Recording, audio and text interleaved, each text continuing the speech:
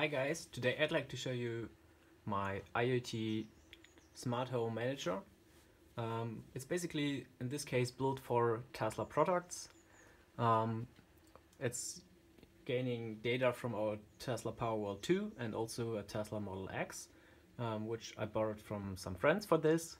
Yeah, and now I'd like to explain how my box is working and what's this small device, it, oh it's actually small I guess, is doing. Um, basically it's gaining data from the Powerwall, like the same or your Tesla app, like the solar generation, home usage, the grid usage and the battery usage and as, as well as the SOC of the battery um, and some other information from that. It also uses the same interface as the app to access data from the Model X. In this case, it's the state of charge and the location, as well as the climate control um, and some other features, like the left range.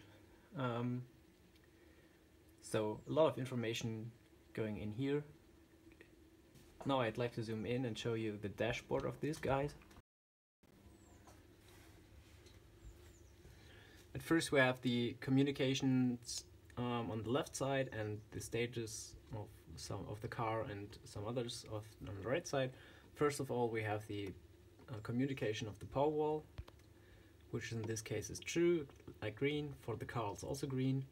For my PM sensor, which is uh, yeah measuring the air condition outside as well as the humidity and the temperature. And we have a weather forecast um, in this case Yahoo weather, um, to gain data for the next days and do some predictions on how many how much energy will produce the next days. So on the right side we have also the car if the car is at home and if the car is charging it um, both is um, yeah not connected to each other so the car can still be at home and be not charging. In this case the LED would switch to red um, and if, this, if it's off the car is not plugged in yeah, the car can be at home and not, so it's uh, red and green. Um, below that we have also a busy LED, which is telling me if the system is gaining data at the moment or not, and an error LED in, case of yeah some errors occurring, um, which is until now not happening at all. On the upper stage we have um, some different switches or relays. Um, you can see currently two red LEDs running, so we have two devices switched on. Um, in this case, it's um, a water pump for our garden. Yeah.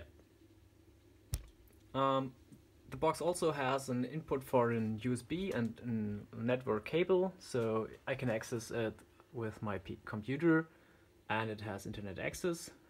So this is required because I'm using some different interfaces, all using the internet on different levels. So I have Ethernet as well as uh, Wi-Fi uh, and mobile data.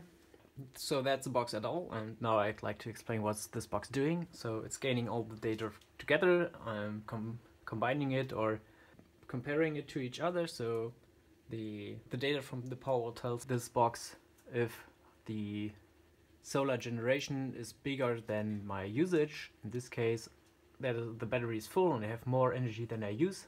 At the moment, I can switch off other devices, in this case, like a water pump. Of course, as the box also has access to the Tesla car, um, it can also start and stop charging processes.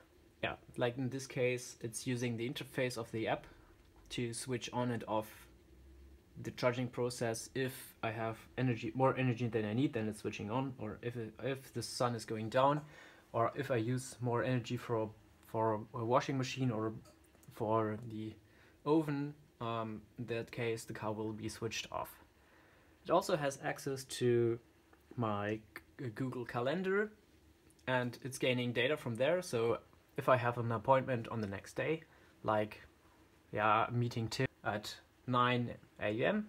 Then it's calculating the distance to this point, um, comparing this with the current state of charge.